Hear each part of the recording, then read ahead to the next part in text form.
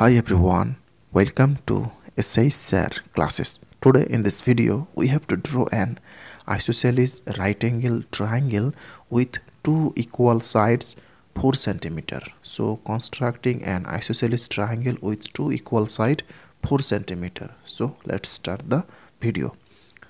First of all we have to draw here a line of length 4 centimeter. So this is 4 centimeter and this one 4 centimeter line.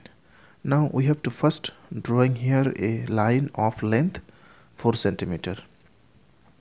So this is 4 centimeter and taking here b point and here c point.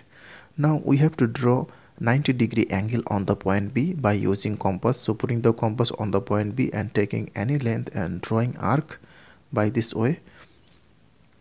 Again with same length and putting the compass here and cut here with same length and putting the compass here and cut here and drawing an arc here. Again with same length and putting the compass here and cut here. So both the curve intersect at a point. Now joining this side to get 90 degree angle. Now checking. So this is perfectly 90 degree. So this is 90 degree angle. Now taking the length 4 centimeter by using compass by this way and putting the compass on the point B and cut here. So taking here A point. Now joining A and C to get the triangle.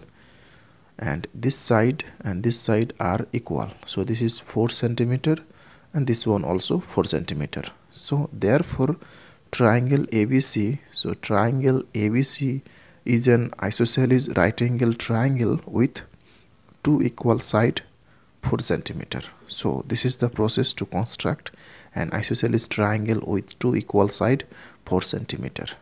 That's all. Thanks for watching